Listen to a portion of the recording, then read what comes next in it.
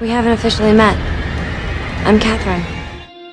I was looking out for myself, Elena. I will always look out for myself. Humanity is a vampire's greatest weakness. You don't understand. I have enemies everywhere. What happens when word gets out that I'm a human? I can't protect myself.